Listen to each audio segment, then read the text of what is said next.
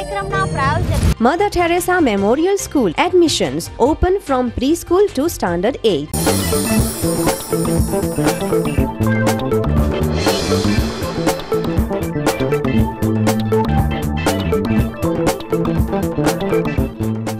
નમસ્કાર દર્શક મિત્રો અતિથિમાં ફરી એકવાર આપનું સ્વાગત છે અતિથિ એટલે એવો કાર્યક્રમ કે જે કાર્યક્રમમાં વિશિષ્ટ વ્યક્તિત્વ સાથે આપની મુલાકાત કરાવે છે અને વાતો કરીએ છીએ અંતર દર્શક મિત્રો આજે આપણી સાથે એક એવા ગેસ્ટ છેલ્લા કેટલાય સમયથી એવા ગેસની શોધમાં હતા. કદાચ આપ પણ હતા અને હું પણ હતો કે જેમને જોઈને જ આમ મન પ્રફુલ્લિત થઈ જાય. સ્ક્રીન પર જોઈએ છે ત્યારે બટ ઓબ્વિયસ છે કે કદાચ તેમના બોલવાથી અથવા તો તેમના એક્સપ્રેશન્સથી એમાં જ્યારે સટ્ટાક દઈને બેકગ્રાઉન્ડ મ્યુઝિક આવે છે, ત્યારે બધા જ લોકોના ચહેરા પર ખુશી આવી જાય છે.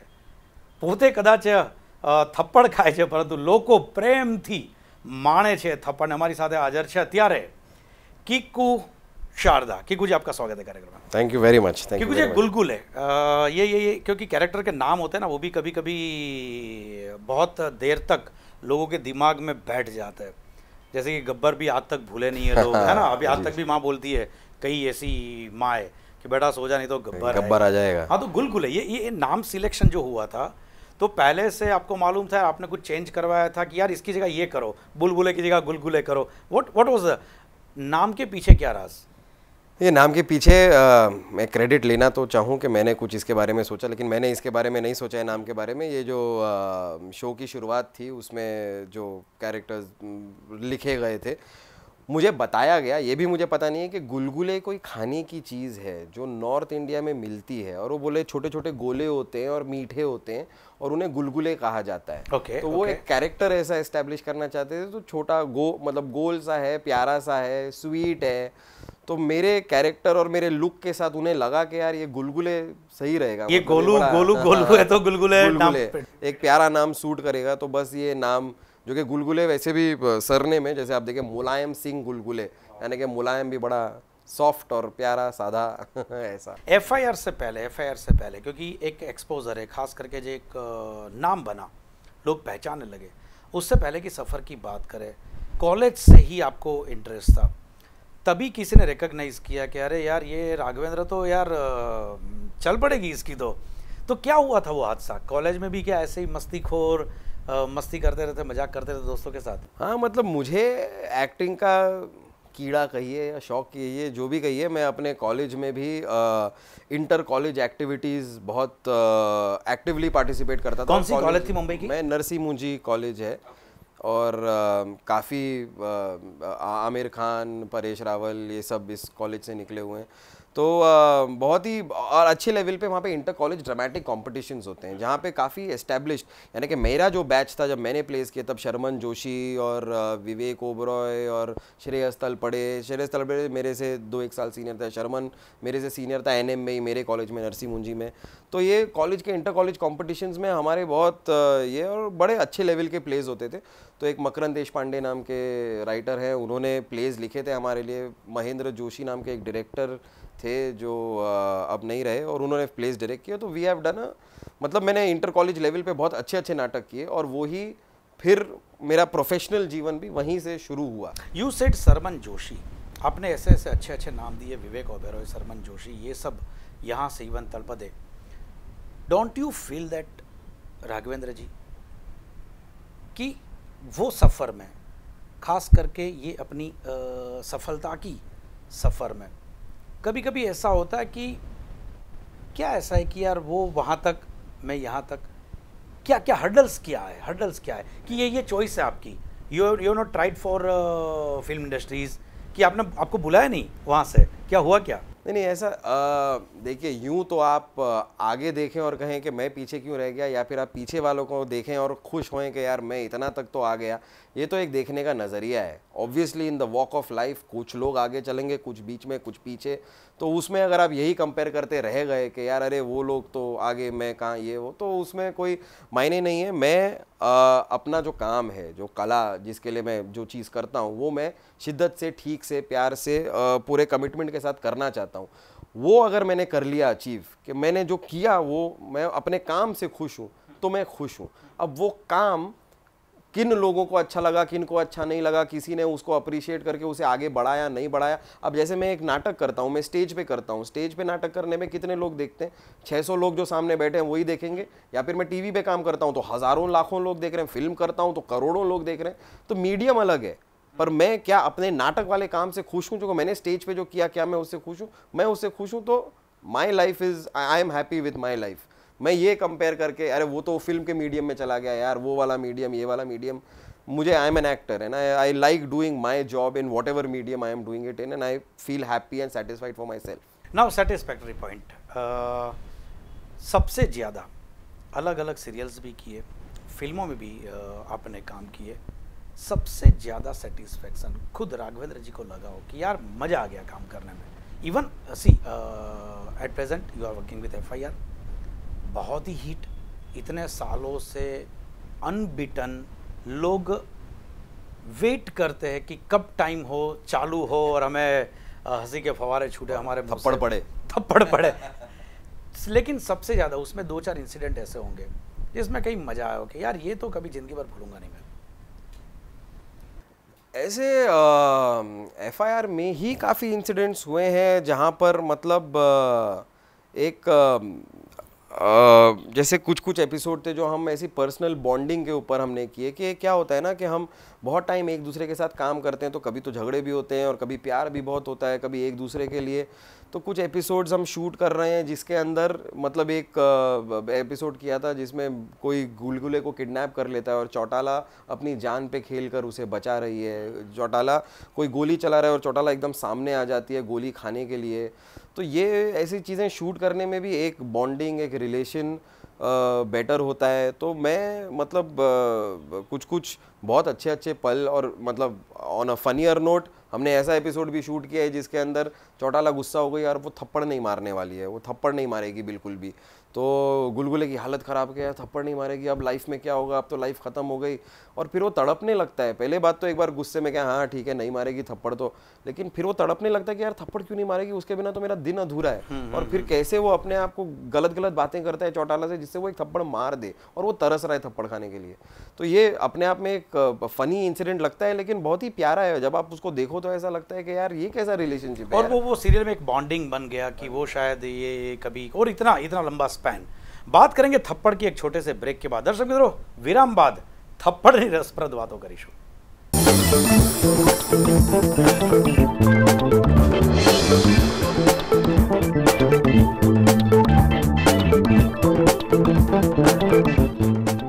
વિરામ બાદ ફરી એકવાર સ્વાગત છે આપનું કાર્યક્રમ અતિથિમાં ઠીક जी थप्पड़ की बात जब भी एपिसोड आता है लोग लोग चाहते कि कब पढ़े कब पढ़े सही में क्या कभी हुआ हुआ है कि क्योंकि एक्ट करने में सही में पड़ गई हो ऐसा कुछ? देखिए, मैं कहूँगा कि सात सौ एपिसोड में एवरेज में अगर छः सात थप्पड़ भी पर एपिसोड के आप काउंट करें तो पाँच हज़ार थप्पड़ होंगे। लेकिन ये मैं क्रेडिट देना चाहूँगा कविता कौशिक को, जो कि एक बहुत ही बेहतरीन कलाकार है और इतनी सफ़ाई से उन्होंने मुझे थप्पड़ मारे हैं और इतने मतलब इतने प्रिसिशन और इतने करेक्ट टाइमिंग के साथ मारे हैं कि कभी भी लगा नहीं। आवाज़ आई है लेकिन आवाज़ आई है लेकिन छुआ नहीं है और मतलब वो कमाल का टाइमिंग हम छः साल से मैनेज कर रहे हैं और आगे भी करते रहेंगे। ओके okay, बात करें भागो के के आया। दैट इज़ अगेन अगेन बहुत फ्रेंकली अगर मैं खुद का अपना ओपिनियन दूँ व्यूअर के बिहाफ पे that was a excellent scripted story बहुत ही बढ़िया था। और मेरे हिसाब से कॉरपोरेट कंपनी में काम करने वाला हर एक बंदा उसके अंदर अपना बॉस ढूंढता था। हाँ वो और मैं very frankly I am amazed कि आप भी मुझे इस शो के बारे में बात कर रहे हैं क्योंकि ये शो जैसे आज हम 700 एपिसोड्स की बात कर रहे हैं एफआईआर की उस शो ने तेरह एपिसोड किए तेरह सिर्फ़ तेरह। पर आज भी फेसबुक पे और यहाँ वहाँ लोग मुझे मिलते हैं और अरे यार, भागो के क्या? मैं बोला, आपको याद कैसे है यार? गिनती के तेरह एपिसोड बने थे, भागो के क्या है कि आपको इतना अभी तक मेमोरी है उस शो की? क्योंकि वो कैरेक्टर इतना अजीब था और मुझे करते हुए भी बड़ा अजीब लगता था कि मैं सचमुच मतलब ऐसा इतना सेल्फ ऑब्सेस्ड आदमी, कुछ भी जोक बोलता है और उम्मीद करता है कि लोग हंसेंगे। तुमको एक ऐसी कुर्सी पे बैठा दिया गया है जहाँ बाकियों का जॉब है कि वो तुम्हारे को अप्रिशिएट करें और वो खुद अपने आप से इतना खुश है। मतलब I really enjoyed that character and मैं ये भी कहना चाहूँगा कि अमित आर्यन जो मेरे एफआईआर के राइटर हैं उन्होंने ही भागो के के आया भी लिखा है। और वो एक मतलब कहाँ से हम मतलब एक एक एक दूसरे शो में एक छोटा हिस्सा हुआ करता था के के का। वो के के कैरेक्टर इतना अच्छा लगने लगा कि हम फिर चैनल ने सब टीवी ने ही डिसाइड किया कि उसका एक प्रॉपर शो बनाए।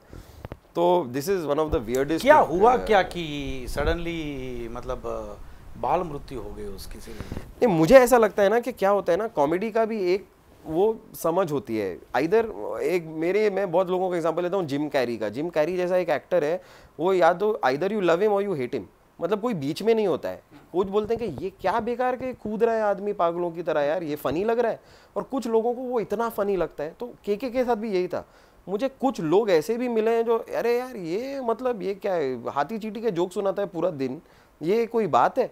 और कुछ लोग जो शो पे मरते हैं मतलब यार कहाँ चला गया शो? तो आई यू लव हिम और यू हेट हिम तो उस बीच में शायद लव करने वाले तो बहुत प्यार करते हैं बट समहाउ आई गेस वही एक टाइमिंग भी गलत था। जब वो शो आया, तब टी आर पीज ये, वो वो खैर मिला जुला के जो भी हुआ but I think it's a brilliant character Raghavendra Raghavendra, आपने आपने बताया कि कॉमेडी क्योंकि इतने सालों से सिर्फ़ इसी डायरेक्शन में, इसी एरिया में खास करके कॉमेडी एरिया में आपने बहुत सारा काम किया। ये ये कोई चीज़ कॉमेडी मतलब इट्स नॉट इजी टास्क शायद ग्लिसरीन डाल के दो आँसू बहा देना चेहरा थोड़ा आ, अपना खुद का नमी वाला बना के लोगों को आ, नमी के माहौल में ढाल देना ये सब ठीक है। कॉमेडी इट्स वेरी टफ अपने आप को मैं चांस देता हूँ ये सवाल पूछ के कि अपने आप को महान आप साबित कर सकते हो। कुछ प्रकाश डाल के कि कॉमेडी कितना टफ है। देखिए ये वापस बात वहीं आ जाती है जो मैंने पहले कहा कि ये आ, एक लाइफ को जीने का तरीका है। ये लाइफस्टाइल की बात है।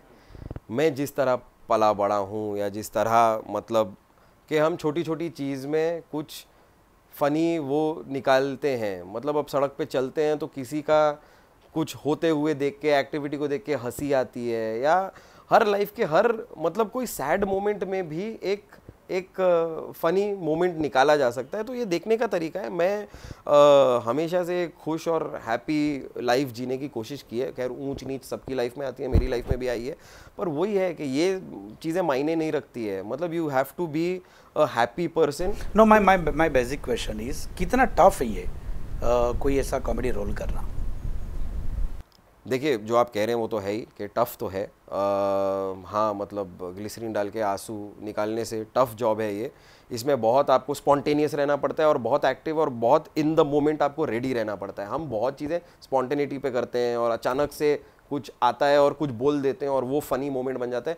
बिकॉज़ वो यूँ भी आप देखिए आप दोस्तों के साथ बैठेंगे तो आप हंसेंगे ज़्यादा हम्म, हम्म। कि एक रैपो होता है और दोस्तों के साथ बातें करते करते कोई किसी ने कोई ऐसी बात कर दी कि हँसी आ गई। तो वो टाइमिंग की बात है और वो टाइमिंग लाना एक मतलब एक एक वक्त के साथ डेवलप होता है। It is a tough act but it is a very very fun act also if you start taking it in fun okay fine now now now now एक ब्रॉड वे में देखें। हिंदुस्तान की टीवी इंडस्ट्रीज़ बहुत grow कर चुकी है। बहुत सारे एक्सपेरिमेंट हुए। व्हाट डू यू फील अभी भी हमारी टीवी इंडस्ट्रीज़ में क्या कमी, क्या क्या खलती है?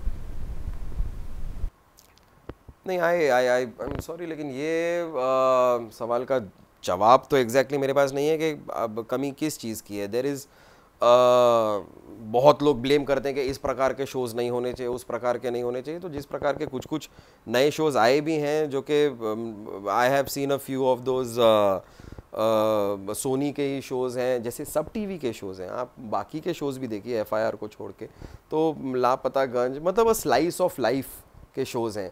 हम एकदम कॉमेडी बनाने की भी मतलब कि एकदम हर मोमेंट पे, लेकिन एक ज़िंदगी जो जी रहे हैं लोग, एक लापता गंज एक जगह है, जैसे आर के लक्ष्मण है, चिड़ियाघर है, तारक मेहता है, एक सोसाइटी है, लोग हैं, उनकी ऊंच नीच there are sad moments also there are funny तो I think that is the perfect blend इस तरीके के शोज़ जैसे सब टीवी बनाता है, उस प्रकार के शोज़ और बनने चाहिए। स्लाइस ऑफ़ लाइफ लेकर आइए आप, एक असलियत लेकर आइए। बहुत ही बनावटी और नकली ना लगे और एक असलियत लेकर आए शोज़ में तो उस प्रकार का ट्रेंड अब शुरू तो हो गया है और मेरे ख्याल से आगे ही बढ़ेगा। किसको सामने रखकर करियर शुरू की थी?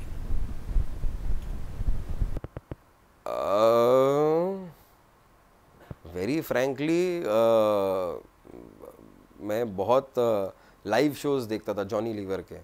उनके जो बॉम्बे में लाइव परफॉर्मेंसेज uh, होती थी तो हॉल में जाके शोज़ देखता था। और मैंने शुरुआत ही उनके आइटम्स को कॉपी करके की मिमिक्री के आइटम्स वो जो करते थे वो सेम चीज़। फिर वो टेप एक ऑडियो कैसेट आती थी उसमें उनके आइटम होते थे वो सुन सुन के धक्का मत लगाओ।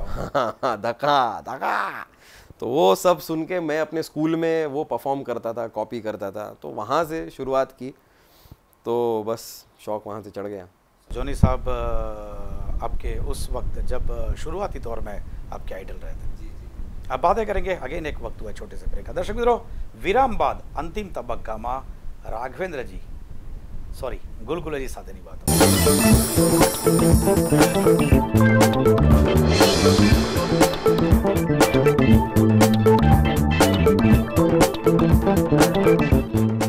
विराम बाद फरी एक और स्वागत शाम कार्यक्रम अतिथि माँ, किकू जी। ये कीकू नाम सुन के थोड़ा ऑड लगता है, क्योंकि नॉर्मली कभी भी बच्चा पैदा होता है तो लोग पहला काम ये करते हैं सलाह देने का, जब भी मिलने जाते हैं। नाम तो मैं ढूंढ के आऊँगा। और सबके अनुभव अगर देखें गूगल में बच्चों के नए नाम डाले तो 500 वेबसाइट्स मिल जाएगी आपको, जिसमें पाँच लाख नाम होते हैं। लेकिन एक भी नाम आज तक कीकू सुना नहीं है। पाँच लाख नामों में आपने कीकू नहीं सुना। नहीं कीकू वैसे आ, मेरा असली नाम नहीं है। मेरा असली नाम है राघवेंद्र जो भगवान राम का एक और आ, नाम है। तो लेकिन क्या होता था मेरा सरनेम है शारदा राघवेंद्र शारदा। मैं जब स्कूल में था तो बड़ी प्रॉब्लम होती थी कि लोगों को मेरा नाम बड़ा लंबा लगता था दोस्तों को। तो बोले राघवेंद्र कौन लेगा? बहुत लंबा नाम है। तो वो मुझे शारदा बुलाते थे। तो अब अचानक से एक औरत का नाम हो गया था मेरा। सब शारदा, ये शारदा, वो शारदा। मैं बोला, यार, ये क्या है यार? ये कहाँ? तो मैं अब कोई नाम को काटूं या रघु या रैग्स करूँ या कोई रैग्स वैग्स करने लगे तो अब मैंने कहा कि चलो ठीक है मेरा घर का एक नाम था कीकू जो मेरी दादी ने मुझे दिया था। तो घर का एक नाम मैंने कॉलेज वॉलेज में एंटर किया तो मैंने सबसे कहना शुरू कर दिया कि भाई मेरा नाम कीकू है। तो मैं अपने आप को राघवेंद्र की तरह इंट्रोड्यूस करना ही छोड़ दिया और अब प्रोफेशनली भी मैं कीकू नाम इस्तेमाल करता हूँ। जस्ट बिकॉज़ मैं हर जना मुझे शारदा शारदा नाम पुकारे इसलिए मैंने ये एक but it's a sweet cute small short name अच्छा है मुझे अब तो अच्छा लगने लगा इट्स लाइक मी किकू जी आपने बताया कि दादी माँ आपको ये नाम से पुकारती थी। फैमिली की बात करें दो क्यूट बच्चे पापा बिजनेसमैन बच्चों की बात करें क्या क्या क्या? कभी साथ में बैठ के सीरियल देखते क्या क्या सवाल आते हैं सवाल तो कुछ नहीं आते। उनका सबसे बड़ा, जो कि मुझे उनको ज़रा बताना पड़ा कि ये सब नकली है मतलब उनको लगने लगा एक टाइम पे जब ग्रो अप हो रहे थे और शो तो छः साल से चल रहा है। मेरा बड़ा बेटा सात साल का है, छोटा चार साल का है तो जब से वो हैं, तब से वो सीरियल देख रहे हैं एफआईआर उनको लगा कि ये थप्पड़ मारना तो एक नॉर्मल चीज़ है। ये एक एक्टिविटी है जो लाइफ की होती है, लोगों को करना चाहिए। वो ये ये मान के उनके, के पापा को मारा जाता है। ये एक है मतलब। तो वो कभी कभार आके अपना हाथ और मैं, भाई, ये सब क्या हो रहा है यार? बच्चे हैं मेरे। तो मतलब उनको समझाया, दिखाया और उनको शूटिंग पे लाके दिखाया कि ये सब नकली है। टच नहीं होता है, नकली है। उनको ये रियलाइज़ होता था कि, अरे, ये तो आंटी टच ही नहीं कर रही है, आपको ये क्या है? मतलब बेटा, ऐसे ही होता है, कोई असली में नहीं मारता है। तो समझा समझू के अब वो इस बात को समझ गए हैं। वरना they enjoy the show they love it बैठते हैं साथ में, देखते हैं। किको जी यहाँ यहाँ एक सीधा सवाल पूछना चाहूँगा। जैसे आपने बताया कि बच्चे देखते थे सात साल वाला जिसने सबसे ज़्यादा समझदारी से शो को देखा होगा जिसको लगा कि यार ये तो थप्पड़ तो इट्स नॉर्मल मारा जाता है। और अगर पापा को तो क्या सीरियल्स की सोसाइटी पे असर कितनी पड़ती है? तो पड़ती है। उसका आप कुछ आ, अब वही तो मैं आ, कि चिल्ड्रन की व्यूइंग एक लिमिट रखनी चाहिए जो मैं अपने बच्चों के साथ रखता हूँ। आप ये जो मतलब एक सीरियस इश्यूज़ को लेके सोशल ड्रामास भी आप बच्चों को दिखाएँ तो उनको लगने लगेगा कि हर घर में इस तरह लड़ाइयाँ होती है। उनको लगेगा हर घर में किसी को जहर दे देना, ये तो नॉर्मल बात है। उनको लगेगा कि ये तो हर, ऐसा हर जगह नहीं होता है। ये कुछ टीवी पे कुछ स्पेशल स्टोरीज आपको दिखाई जा रही हैं। तो बच्चों को थोड़ा कंट्रोल में टेलीविज़न व्यूइंग देना चाहिए। वो स्ट्रिक्टली अपने कार्टून्स या अपने एनिमल प्लानट या मतलब वो टाइप के शोज़ देखें तो उनके लिए बेहतर है या फिर ऐसे शोज़ जो इतना टाइप का अग्रेशन या ये चीज़ें ना दिखाए जो कि घूम फिर के मैं फिर भी मतलब ये तो एक थप्पड़ जोक की तरह हो गया वरना सब टीवी के शोज़ मेरे हिसाब से बहुत ही एक अच्छे मैसेज के साथ आते हैं नॉर्मली तो आप ये बच्चों को दिखाइए अच्छी बात what is your personal opinion about reality shows See, I uh, I am I am very fond of the singing and the dancing reality shows. I think they are very good. I love show call Dance India Dance fantastic talent आता है उस show में dancing talent celebrity dancing celebrity singing वो सब भी अच्छा है. I am not very fond of Bigg Boss kind of reality shows where you know the basic element of that show is झगड़ना और अग्रेशन और किसने किसी को क्या कह दिया और ये तो छोटी बात हो गई और ये मतलब कैसे हाथ उठा दिया।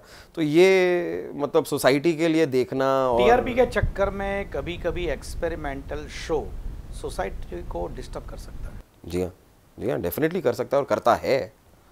तो हमें उससे कैसे बचना है अपने बच्चों को कैसे बचाना है उस चीज़ से वो हम हर इंसान की पर्सनल ज़िम्मेदारी है। Now now now after F I R what कुछ प्रोजेक्ट हाथ में या coming projects see right now तो F I R takes most of my time क्योंकि एक ये five days a week show है और काफ़ी क्वांटिटी में शूटिंग होती है। तो और कुछ करना तो थोड़ा सा मुश्किल हो जाता है। पर मैं अपनी तरफ़ से अ, अब वही होता है कि फ़िल्में करना या कुछ करना महीने में इतने दिन बचते ही नहीं है कि आप एक लमसम कोई और प्रोजेक्ट ले लें। लेकिन I am an actor and मतलब मैं एफ़ आई आर इंजॉय कर रहा हूँ और करूँगा जब तक you know the show is there it's a fantastic lovely show again again again मेरा पहला सवाल जो पहले पार्ट में मैंने पूछा था फ़िल्मों के प्रति क्या एफर्ट कम किए हैं या इतना ध्यान नहीं दिया है? नहीं पर हाँ जेन्यूनली मैं ध्यान दे नहीं पाया हूँ। मैंने आखिरी फ़िल्म की थी रेस नाम की। सैफ अली खान अनिल कपूर और अब्बास मस्तान की फ़िल्म थी। साउथ अफ्रीका में शूट की गई थी वो फ़िल्म। तो वो मेरी लास्ट फ़िल्म थी। मैंने डरना मना है और फ़िल्में की हैं मैंने मेरे ख्याल से छः या सात फ़िल्में की हैं। बट उसके अलावा अ, मैं बहुत ज़्यादा उसमें नहीं कर पाता हूँ क्योंकि obviously in a film you know you have the bigger actors and you have to adjust your timing and dates और ये वो ये वो अकॉर्डिंग टू बाकी लोगों की अवेलेबिलिटी तो इट इज़ नॉट योर मतलब कोर दिस थिंग तो मैं अभी जब टेलीविज़न कर रहा हूँ और अच्छा काम कर रहा हूँ इंटरेस्टिंग काम कर रहा हूँ तो मैं इंजॉय कर रहा हूँ अपने आप को। फ़िल्मों का मेरा ये है कि मैं पीछे दौड़ नहीं रहा हूँ। मेरे अगर कुछ आता है मैं बहुत ज़्यादा लोगों से welcome. हाँ, हाँ देन वेलकम हाँ नहीं नहीं नहीं मेरा आपने बताया कि अब आपने कोशिश नहीं किया। थोड़ी अ, कम कम की है लेकिन उसमें क्या आपको लगता है कि अ, उसकी वजह से सही में सेकंड ऑप्शन एक होना चाहिए हाथ में। डोंट यू फील दैट नहीं but what is a second option मतलब मैं अ, आज एफआईआर नहीं करूँगा तो एज एन एक्टर ऑफ़र तो चीज़ें हो last question last question you are a good actor बहुत अच्छे एक इंसान है आप। कभी अपने आप को अपने आप को कभी एनालाइज भी करते होंगे आप। मुझे बहुत ब्लंट आंसर चाहिए। दो क्या कमजोरियाँ खुद में दिखी आपको जो कि आप इम्प्रूव करना चाहते हो बरसों से? मैं चीज़ों को आसानी से भूलता नहीं हूँ। चाहे वो किसी प्रकार का यू you नो know, कोई अनबन भी हो तो जैसे होता है ना कि फॉरगिव एंड फगेट मेरे से फगेट होता नहीं है। मुझे बहुत टाइम लगता है किसी चीज़ को भुला देने के लिए, जो कि मेरे हिसाब से एक अच्छी आदत नहीं है। You need to keep moving on and keep you know अपना पेस में। मैं कोई टेढ़ी बात या कोई चीज़ मैं मतलब वो है ना, दिल में मत रखो, पर मेरे दिल में काफ़ी रह जाती है तो मैं वो पसंद नहीं करता हूँ, और मैं कोशिश कर रहा हूँ कि मैं इस चीज़ से थोड़ा निकलूँ। Otherwise at last at last at last क्या मैसेज है? क्योंकि बहुत सारे व्यूअर्स जो कि आपको पसंदीदा अपने आर्टिस्ट मानते हैं? क्या उनके लिए मैसेज क्या है? भाई उनके लिए सबसे पहला मैसेज तो है कि आप एफआईआर देखिए मंडे टू फ्राइडे साढ़े दस बजे आ, सब टीवी पर। और उसके अलावा मैसेज है कि प्लीज़ आप आ, खुश रहिए क्योंकि आप खुद खुश रहेंगे तो आप खुशी बांट पाएँगे। और अगर आप खुशी बांट पाए तो मतलब इससे बड़ी सक्सेस आपकी लाइफ में और कुछ हो नहीं सकती। Thank you very much thanks दर्शकों मित्रों आधी खास मुलाकात की कुछ साथ है। જે વાત કરી તે પ્રમાણે એક એવું વ્યક્તિત્વ કે જે સતત પ્રયત્ન કરે છે દર્શકોને હસાવવા માટે અને સ્પોન્ટિનિટી. બિકોઝ જ્યારે પણ એક કોમેડી આર્ટિસ્ટ હોય છે, જ્યારે કોમેડી રોલ કરતા હોય છે, ત્યારે બટ ઓબ્વિયસ છે કે સ્ક્રિપ્ટ સિવાયનું પણ ઘણું બધું બાય નેચર એ સ્પોન્ટિનિટીથી આવી જતું હોય છે. ઘણા વર્ષોથી સતત દર્શકોને હસતા રાખનારા કિકુદી સાથે ફરી મળીશું નેક્સ્ટ એપિસોડમાં એક નવા અતિથિ સાથે. ત્યાં સુધી નમસ્કાર. Thank you thanks lot again thank you thank you very much Mother Teresa Memorial School admissions open from preschool to standard 8.